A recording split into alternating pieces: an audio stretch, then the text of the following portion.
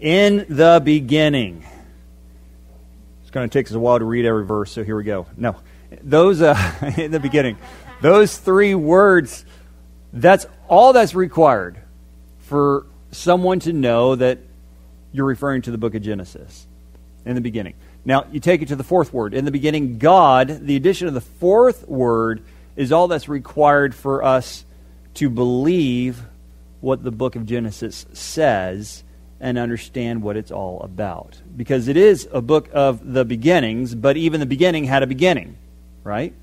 Before anything existed at all, before there were any beginnings whatsoever, there was God. God is before it all, and He's the first one mentioned. He's the central figure of the book of Genesis. And of course, the central figure of the book of the Bible as a whole, and of the whole universe itself. And so, if we come to grips with God at the forefront, then everything else really is a piece of cake. Don't want to, though, get too far ahead of ourselves. Genesis is the beginning of the Bible given to us by God so we would know the beginning of all things. And we do see this beginning of all things. We see in Genesis the beginning of the universe, we see the beginning of humanity, the beginning of marriage, the beginning of work, of sin, of death, the beginning of the gospel promise, the beginning of the fulfillment of that promise through God's nation, which he begins, and much more. The book of Genesis shows us the beginning of grace. And it shows us the love of God for humanity as he reaches out to restore what mankind destroyed in the fall. And we're going to see that from the very moment that sin entered the world, God immediately moves to right what went wrong. And so we'll spend a little bit of time on those first three chapters because the remaining 47 chapters in Genesis are dedicated to show how God went about righting what went wrong. Genesis, we need to emphasize, is not the beginning of God, but it is the beginning of God's gospel. Our salvation finds its root in the pages of Genesis, and so its importance cannot be overlooked by the Christian. Now, I'm going to just touch on a few things briefly before we get into the text, and we'll touch on it far briefly than what I'd originally intended for sake of time. We get the name Genesis, by the way, from the uh, Greek translation, the Septuagint, they called it Genesis, and that's really the word in Greek. Genesis is the Greek word and refers to origins, birth, genealogies.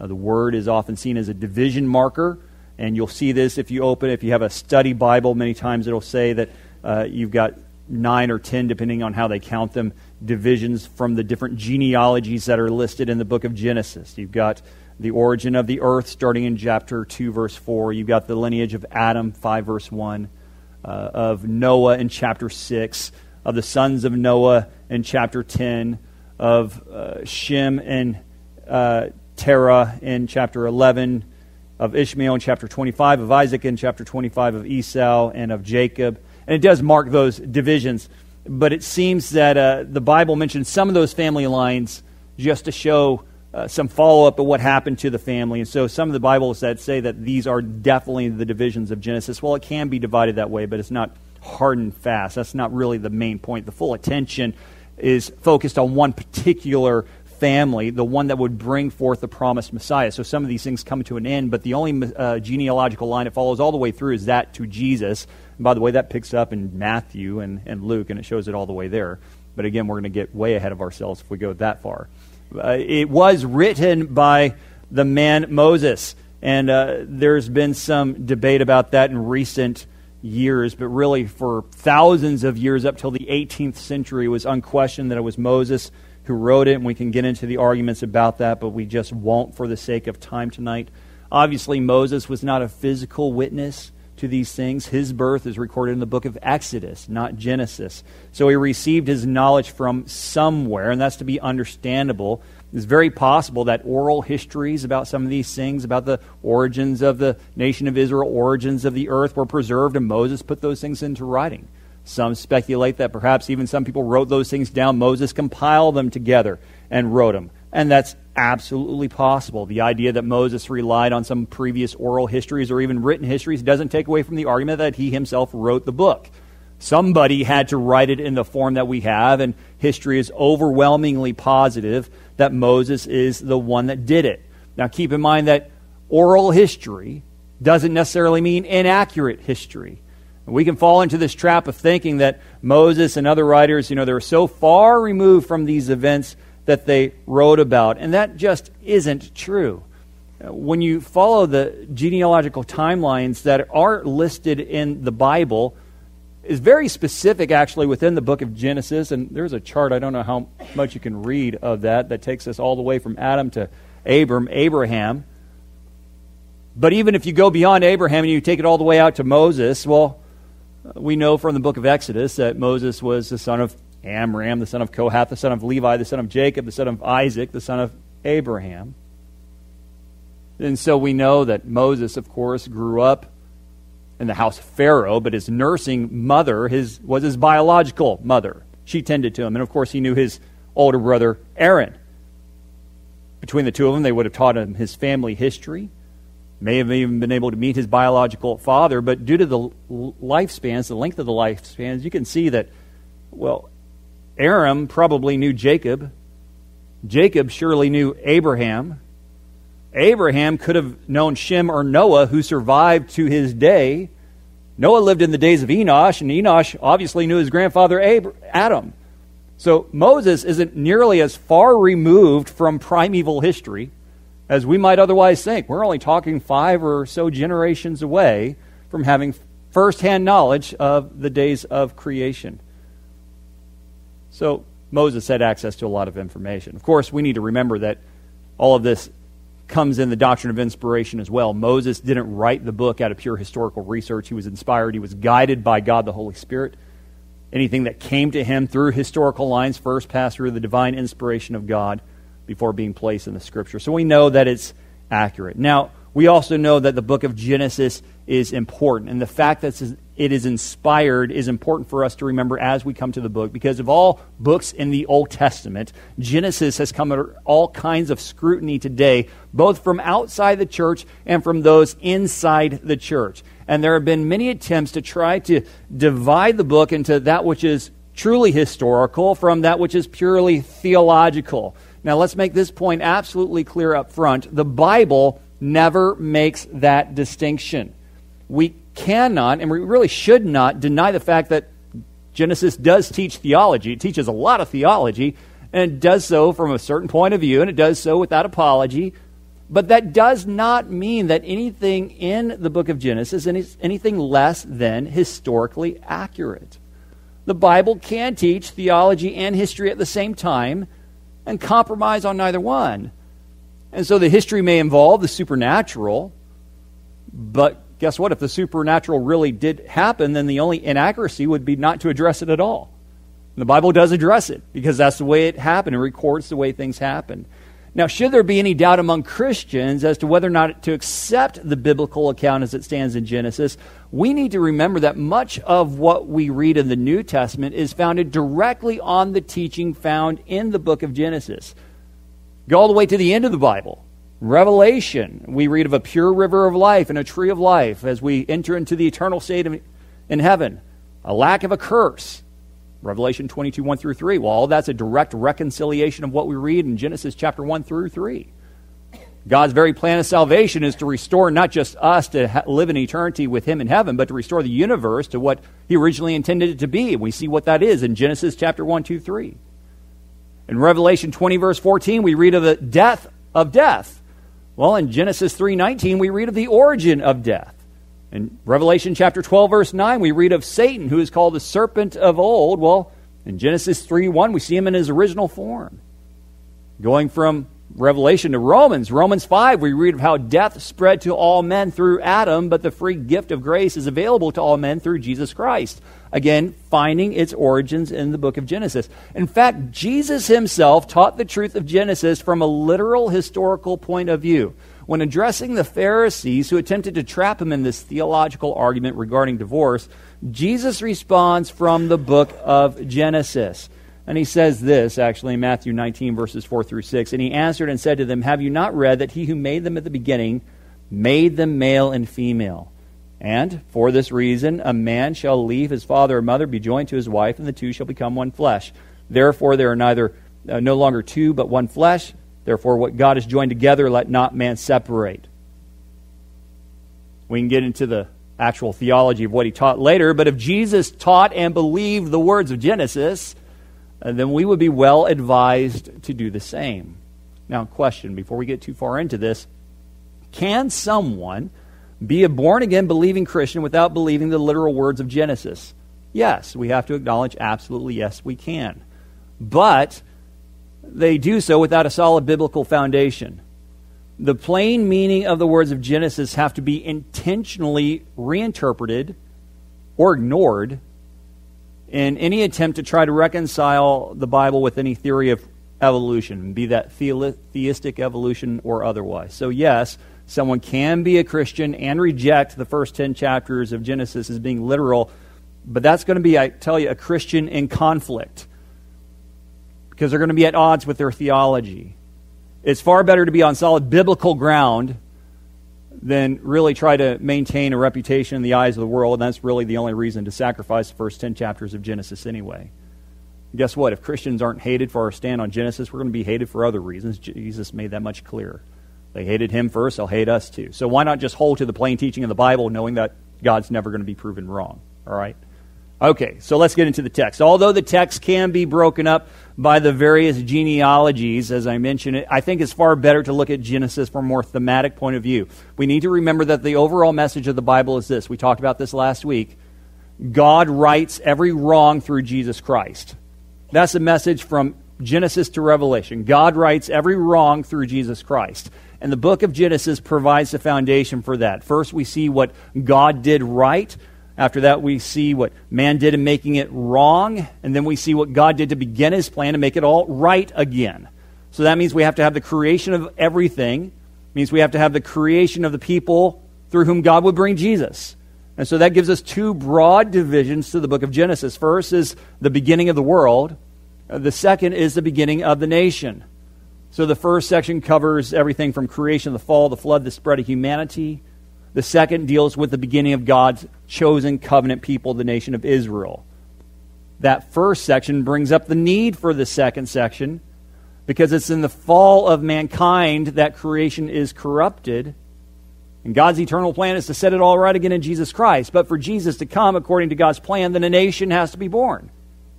All right? Therein is the book of Genesis. So, you want to have your Bibles open because we'll be flipping fast through some of this. Chapter 1, we're going to try to take it chapter by chapter as far as we can get. We'll see how far we go tonight. But chapter 1 starts with an overview of Genesis, and just as you read in those first few uh, a couple of verses, it sums it up in advance Genesis 1, 1 and 2. In the beginning, God created the heaven and the earth.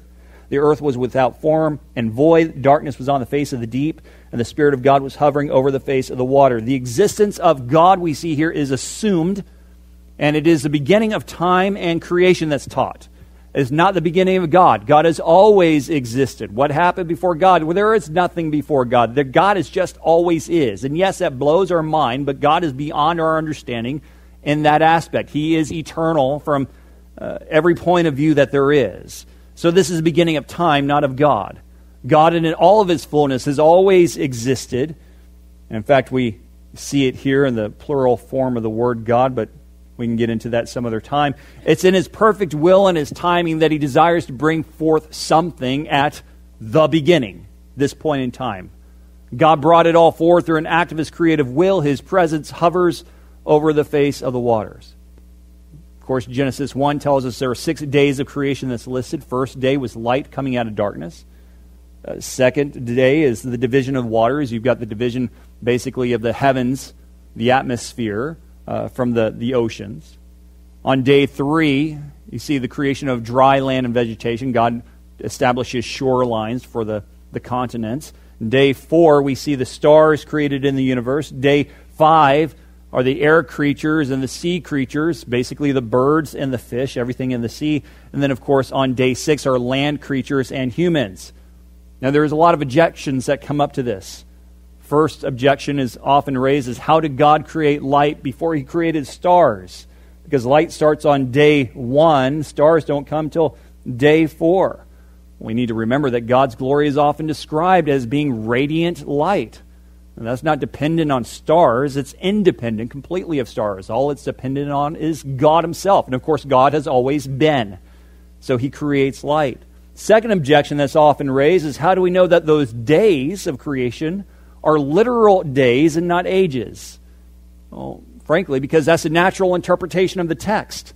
Morning and evening is a very specific way of referring to a day, a natural day. God doesn't tell us there were many evenings and many mornings. No, just evening and morning. Now, again, is it possible that this could be interpreted as ages? Well, anything's possible, I suppose. There's just any isn't any indication that the Bible does it that way. It just plainly says evening and morning was the day. And so there it is. Another objection. Couldn't this all just be symbolic mythological teaching? After all, days 1 through 3 seem to be very parallel to days 4 through 6. Couldn't Genesis 1 just be some way of teaching that you know, God's behind it all and this is just the best way of communicating it to the people at the time because they didn't have the technology to see beyond the stars and uh, calculate the speed of light or anything like that? Well, that's a stretch. If we do interpret it that way, then it really calls into question how we interpret everything else in the Bible. The best interpretation of the scripture is in natural reading. For instance, if something reads like a, a metaphor when Jesus says, I am the door, well, then we interpret it as a metaphor. Not a literal door, it's a metaphor. If something reads like a poem, then we interpret it as a poem. But if it reads like history, then we need to interpret it like history. Now, the common objection here is that Genesis 1 reads like a myth but how exactly is the origin of the universe supposed to read? In fact, this is far more detailed than other religious myths uh, in other uh, cultures about the world being created and placed on the back of a tortoise or being placed on the shoulders of a giant. In fact, when we look at the book of Genesis in comparison with other world religions, it's extremely systematic in its layout without veering into all kinds of unbelievable descriptions. It shows how God created, and this is how He did it. In other words, it reads like history. And thus, we need to interpret it as history. That's chapter 1. Chapter 2 is the detail of creations. We see the first humans, we see the first marriage. Before the, the detail actually is given, um, the Sabbath is described being the seventh day. Chapter 1 takes us through days 1 through 6. The seventh day comes in chapter 2 and that's the day that he rested. Question Did God need to rest? Well, of course not. God did specifically rest to call attention to this period of rest. We read in chapter 2, verse 3 Then God blessed the seventh day and sanctified it because in it he rested from all his work in which God created and made. Now, why would God need or desire to set apart this day as being holy? He sanctified it, he set it apart as holy. Why is that? Well, because ultimately it points to Jesus Christ. Hebrews chapter 4, verses 10 through 11 says, For he who has entered his rest himself has also ceased from his works as God did from his. There, let us therefore be diligent to enter that rest, lest anyone fall according to the same example of disobedience. Contextually, just to give you an idea of what's going on here, God given the Sabbath to the Hebrews as a sign of their covenant. They were to rest every seventh day. Every other culture was working six, seven days a week. They were working only six. They were trusting in God on the seventh. They set apart from the rest of the nations.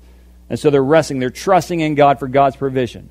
Well, that's one form of rest. Well, God had also promised rest to the Hebrews from their wilderness wanderings. And the writer of Hebrews said, well, they were going to enter into the rest when they got into the promised land. But the fact is, when they got there, they didn't rest. The Sabbath continued. The true rest, the writer of Hebrews says, is only found in the work of Jesus. When the promised Messiah provides rest from spiritual labors, we can't work our way into the salvation of God. We've got to rest in the work that Jesus has done for us. That is the entire point of the Sabbath day.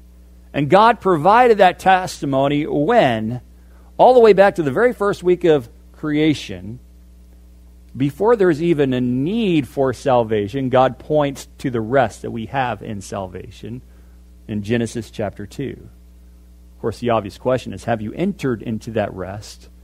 Or are you still trying to prove yourself righteous in the eyes of God? Still trying to work your way into salvation? You can't do it. You have to rest in the work that's already been done, that's already completed in Jesus Christ, who is our Sabbath rest. Of course, once those seven days of the first week are described, we're given a more in depth description of the creation of man, starting at Genesis 2, verse 4.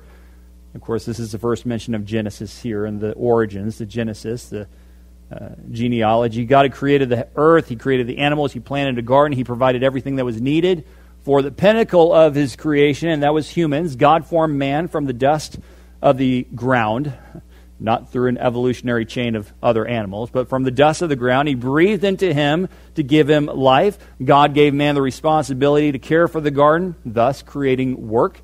Work originally intended to be pleasurable. It didn't become a curse until after the fall.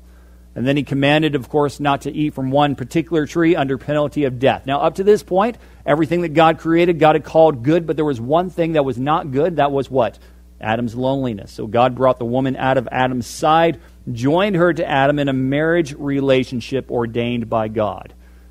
Now, because this is in the culture, we've got to address it. The Bible, of course, neither condemns singleness nor childlessness by this account. It only shows the origin of marriage. Because God created marriage, God's the one who defines marriage, and that's not something that's subject to the whims of cultures. Cultures change left and right, God never does. And when God saw the need to create a partner for Adam, God did so specifically by making someone different to and complementary to Adam. Thus, he created Eve, who is taken from the man, who completes the man in one flesh. And any perversion of that standard, be it multiple partners, be it adulterous relationships, be it homosexuality or whatever, that is outside of God's will. The relationship that God establishes is the one He established as good, and that's not something that we can tamper with. All right, so that's chapter 2. Everything's good to this point. Husband and wife have lived in sweet communion with God. Everything has gone according to God's plan. That's when Satan appears and provides the very first temptation. He perverts the word of God. He causes Eve to question whether or not God even spoke the truth. Eve is unable to respond according to what God actually said, and she succumbs to the temptation and deception of the devil. Now, unmentioned up to that point, by the way, is Adam. Adam's also willing to eat of the fruit of the tree, never bothers to correct his bride on what God actually said, never tries to step in and protect her like he should have done. But he eats of the tree, and now sin has entered the world. The eyes of Adam and Eve are open to what they've done. The intimacy they once enjoyed with God now becomes shameful, and they hide themselves. God confronts them in their sin. Adam and Eve confess, albeit somewhat hesitantly. And then God acts in accordance with his righteousness, and he pronounces curses upon all three of them the serpent, the woman, and the man. To the woman, God sentenced her to painful childbirth, subjection to her husband. To the man, God sentenced him to laborious work and death. To the serpent, God sentenced that uh, far more harshly than you might expect of a mere animal. He did, of course, have to crawl on his belly and eat dust. And, but it prophesies, this curse that God gave to the serpent, prophesies of a greater, more permanent defeat that awaits in the future. Uh, we can look over at Genesis chapter 3, verse 15. I will put enmity between you and the woman, and between your seed and her seed. You shall bruise, he shall bruise your head, and you shall bruise his heel. Now, although not too many women are fond of snakes, it's doubtful this is a reference to herpetophobia, right? That's not what it's talking about here. There will be a long lasting war between that which was behind the serpent and human beings, one that's only going to be resolved through the seed of the woman. Now, if you've been with us on Sunday mornings, we've talked about this a little bit in the past. There's a problem that comes up here because biologically, this doesn't sound possible. Biologically, women have eggs, men have seed. Then how could there be a seed from a woman? Well, answer if the woman experiences a virgin birth. Genesis 3:15 is often called a proto-evangelium or the first gospel. We see in Genesis 3:15 a miraculous son promised to come according to the genealogy of humans that will one day have victory over the evil that the serpent had wrought. And this is a promise of Jesus Christ, who not only had victory over death in his own resurrection, but who gives the promise of victory over death to all those who believe upon him as Lord. How important are these first few chapters of Genesis? Enough to provide the foundation for the gospel in which we trust. There's no need for salvation apart from Genesis 1, 2, and 3. But in it, we already have the promise of it.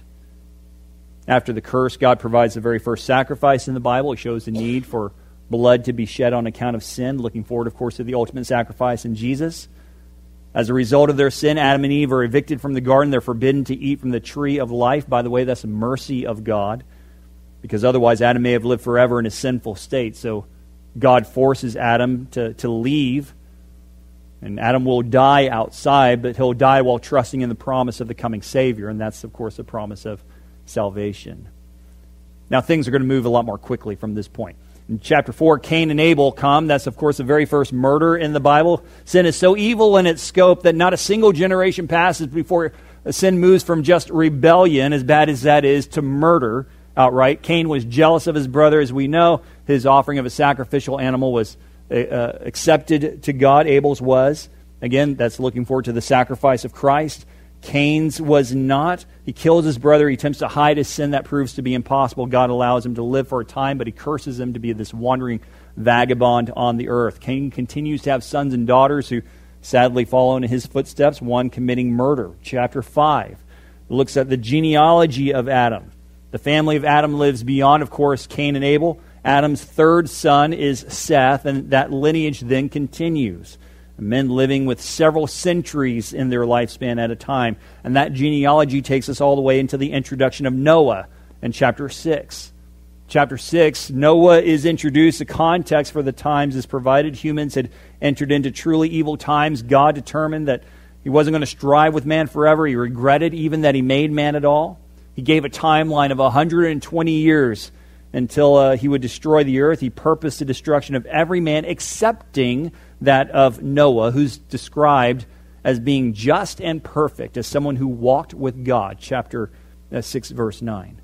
Obviously, Noah was just as fallen as any other human was who had come from the line of Adam, but he sought the Lord God in faith, and so God extended to Noah saving grace. By the way, salvation has always been by grace through faith in Jesus Christ, no matter what era in which someone has lived, be that thousands of years prior to Christ or thousands of years after Christ. We might ask, why did God choose to save Noah instead of wiping out all of humanity, starting over completely from scratch? Why is that? Because the lineage of Adam needed to be preserved. Remember, God had a plan to right every wrong through Jesus Christ, and He promised then to bring forth Jesus Christ, that Savior, through the seed of a woman, Eve. And so, for that promise to be kept, the lineage of Adam needed to be preserved. Even if it was through one family, it would be enough to preserve that one lineage so God would always be true to his word. God is faithful to every single promise, something that's even demonstrated when he brings worldwide judgment. And God, of course, gives Noah for instructions for building the ark, describes this massive ship that's used to preserve the lives of Noah's family and the land animals and birds. Noah did exactly what was commanded of him. We need to keep in mind that just believing God on this would be an act of faith, much less the actual construction of the ark. The Bible gives the indication that it had never rained to this point, but a mist had watered the ground. We read that in chapter 2, verse 5 and 6. So Noah believed God before he ever acted upon God's word, and it's for that reason that Noah became an heir of the righteousness which is according to faith, as it says in Hebrews 11:7 of him. Well, in chapter 7, we actually read about the global flood. The ark's built. Noah and his family and the animals are inside. God brings forth a flood. We tend to picture in our mind as this huge rainstorm, little more than that, but the Bible describes it in truly violent terms. Look at chapter 7, uh, verses 11 and 12. It says, In the 600th year of Noah's life, in the second month, on the 17th day of the month, on that day all the fountains of the great deep were broken up and the windows of heaven were opened, and the rain was on the earth 40 days and 40 nights. The day is recorded. The exact day is recorded. Why? Because it's such a monumental event. This wasn't a 40 day rain shower. This was an upheaval, a breaking up of planet Earth. The fountains, it said, of the great deep were broken up, indicating massive earthquakes, sudden torrential flooding. And such an event would be expected to bring such drastic change upon the earth's surface, quickly burying animals, humans, and plants in a way, you know, they don't have time to decompose, but just succumb to time and pressure and either fossilize or become carbon based fuel, like coal or gas.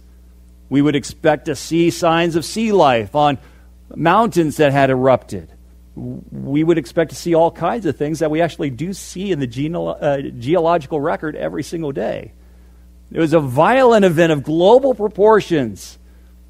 And I would suggest to you an unbiased interpretation of scientific data bears it out, leaves proof of everything that actually happened written for us in the pages of Genesis. Well, why was it so violent?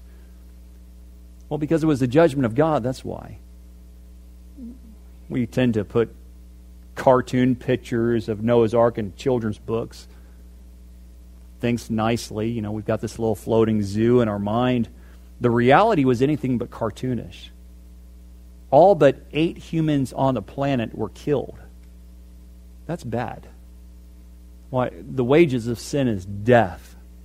And that's dramatically illustrated in the global flood.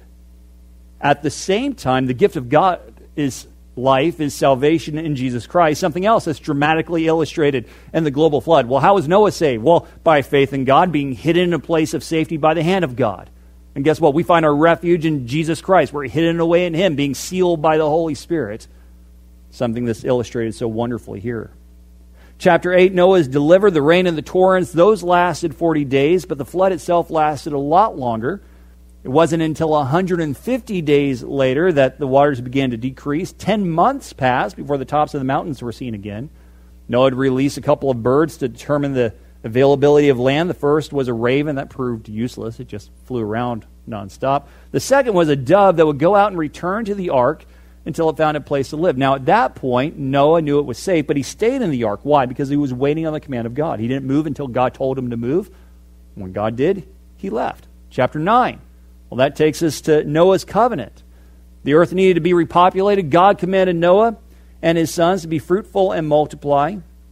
He gave the humans permission to eat animal meat, but restrained them from drinking blood.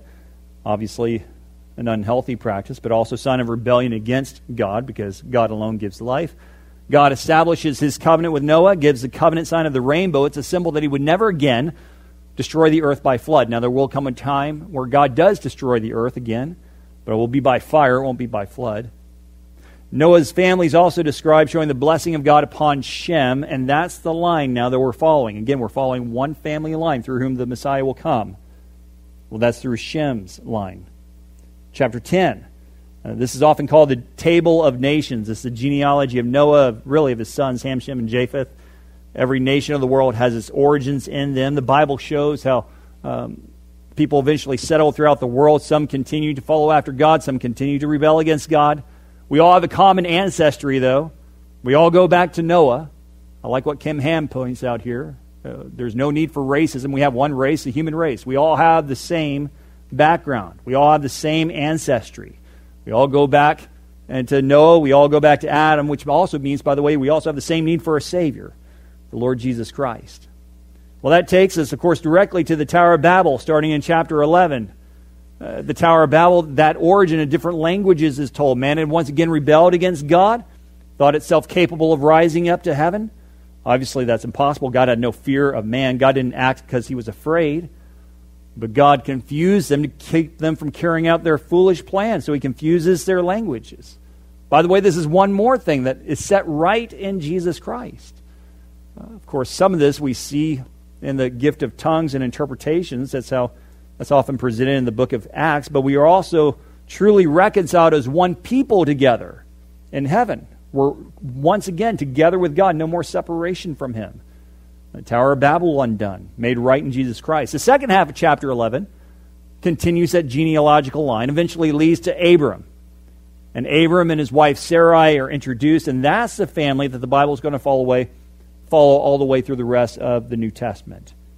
Chapter 12, then. This is really where that line, that major division ends. That first half was the creation of the world, the beginning of the world. Now we're really looking at the beginning of the nation, starting in chapter 12. Abram's calling. God graciously calls Abram. Did Abram do anything to deserve God's calling? Absolutely not. God just picked him out. No work of his own. Offers him a glorious promise of blessing. Not only would Abram be made a great nation, but the promise of the seed of the woman was given to him, as we see in chapter 12, verse 3. Through him, all the families of the earth will be blessed. That's the messianic promise.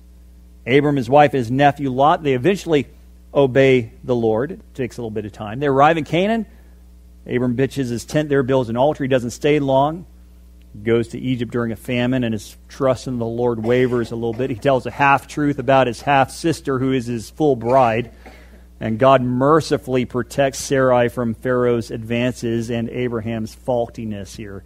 Chapter 13. That's his inheritance. That's when Abraham returns to the land, and he's blessed uh, to the extent that you know, he and Lot, they've grown so numerous in their holdings that they can't share the same land any longer due to the size of their wealth. So Abram says, Lot, you choose which side is best. You go where you want to go. Lot chooses what he thinks is better. It's actually going to take him all the way to Sodom, lead him to his downfall. All that remains, it seems like that's a leftover. God says, no, that's the very best. And that's what God had promised to give Abram, everything that he could see at that point.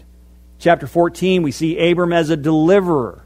He has a incredible encounter with this priest named Melchizedek. Uh, see, Lot is taken captive. He's caught up in a war uh, that because he's now a resident of Sodom and Gomorrah that's in this war, and he's taken captive. Abram has to come to his rescue. Abram's grown in wealth. He's grown in influence now, enough to command a small army.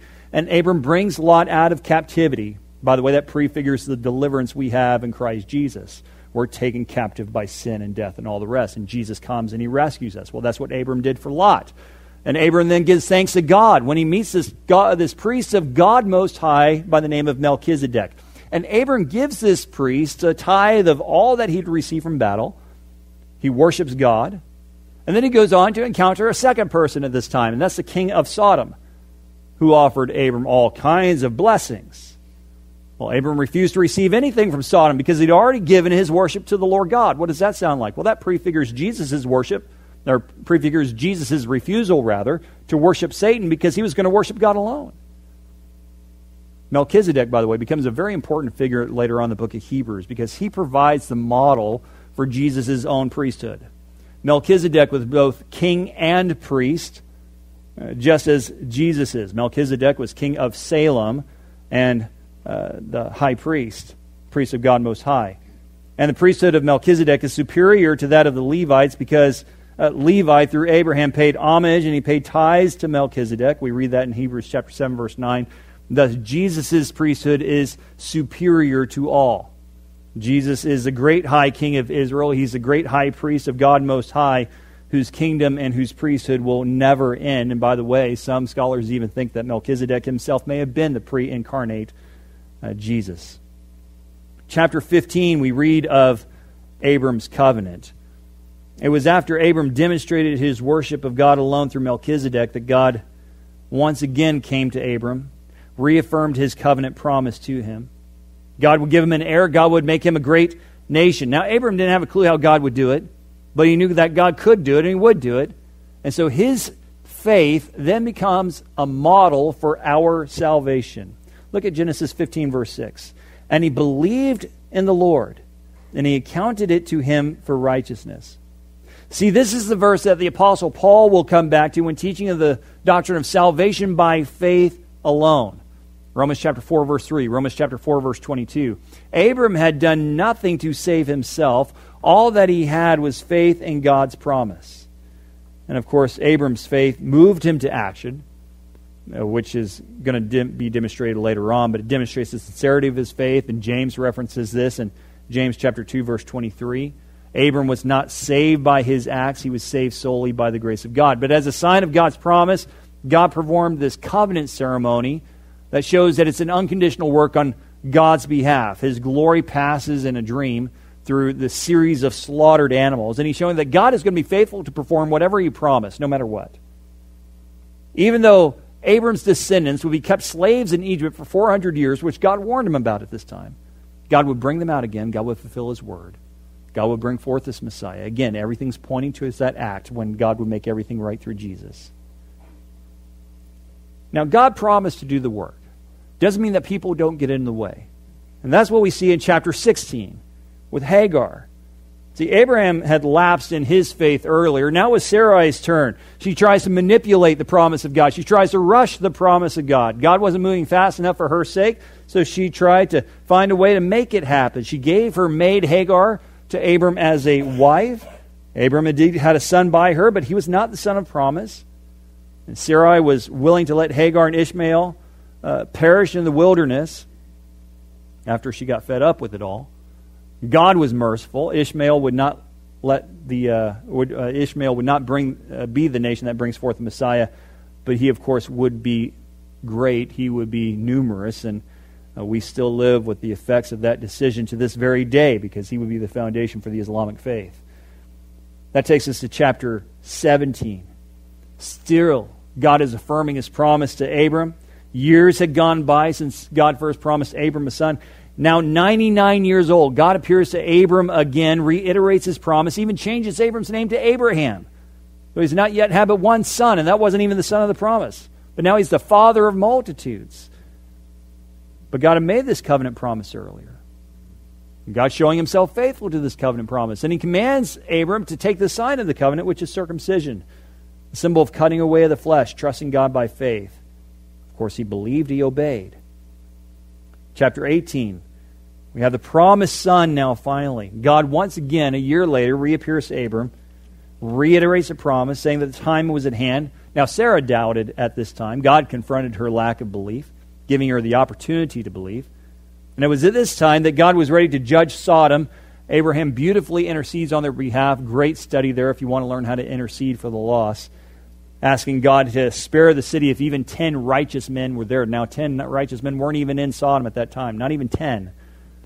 There was one, it was Lot. We read about him in chapter 19. It's an amazing thing that the Bible even calls Lot a righteous man, but it does affirm that in 2 Peter 2, verse 7. Lot was caught up in the midst of a terribly sinful city, and he offered his own daughters to a sexually perverted mob just to spare the angelic visitors that had come to him. Of course, the angels rescued Lot from the city. Sodom was destroyed. All sorts of immorality happened. Lot's daughters thought that their family line was lost. They committed incest with their father and thus birthed the nations of Moab and Ammon, more of Israel's constant enemies later on. Chapter 20 we get to Abraham's fear. After everything that Abraham had experienced to this point, he experiences another lapse of faith, which is a great lesson to us just in this, because God used Abraham in immense ways. And how often do we lapse in our faith? God still held out his promise, his grace to Abram. And he puts Sarah, Abraham does, in the exact same situation he placed her years earlier with the Egyptian Pharaoh. This time it was with Abimelech. God once again intervenes, he protects them. Again, we see Isaac and Ishmael uh, at odds with one another because Isaac's born, and Sarai tries to intervene again. She sends Hagar and Ishmael away to die again. God again shows his mercy. Oh, goodness gracious. We're only in chapter 22. This is as far as we're going to get tonight, but this is one of the best parts so far. The promised son has come. God puts everything to the test. He commands Abraham to take his son. Notice it says in chapter 22, verse 2, his only son. Why is that? Because that's the son of the promise. His only son to Mount Moriah, lay him on the altar, and sacrifice him to God as a burnt offering. Now, one can only imagine what went through Abraham's mind as he took Isaac up on that mountain in obedience. Now, the entire time, Abraham seemed to be trusting that God would keep his earlier promise regarding Isaac. He, he had told the people who had gone with him, You guys stay here. We, the boy and I, we will return to you. Knowing that God had told him to take Isaac up on that mountain to sacrifice him unto death. And he was trusting that God could even raise the dead if necessary. Do you doubt that? Well, the New Testament tells us specifically that thing in Hebrews chapter 11, verse 19. That he was trusting in God to raise the dead. He had faith in the resurrection. How are people saved? By grace through faith in Jesus Christ, always. Abraham had raised his hand to kill his son, he stopped at the last possible moment by the angel of the Lord, in other words, the pre incarnate Jesus. And he said, God will provide himself the sacrifice. Once again, in a most glorious way, it prefigures the sacrifice of Jesus for us. Our lives were required for our sins, but God provided for himself the sacrifice. How so? In the form of the lamb. Not a lamb caught in the thicket, but the lamb that willingly laid down his life for us, the Lord Jesus Christ. So God once again confirms his covenant. And Abraham goes down in history as the father of all faith. Now, I know we promised it was going to be one book once a week. Just couldn't do it with Genesis tonight because it's not only the start of, the, of course, the Pentateuch, it's the start of the Bible. And there's so much of our faith that finds its foundations in those first few chapters. We had to spend some time there, right? We'll cover the rest next time. Lord willing.